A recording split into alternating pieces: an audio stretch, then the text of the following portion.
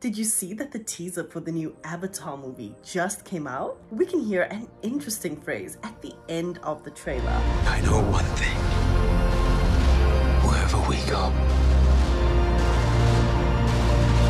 this family is our fortress.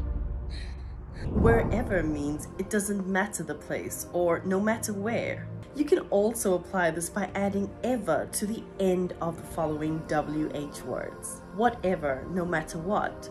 Whoever, no matter who. Whenever, no matter when. Whichever, no matter which. However, no matter how.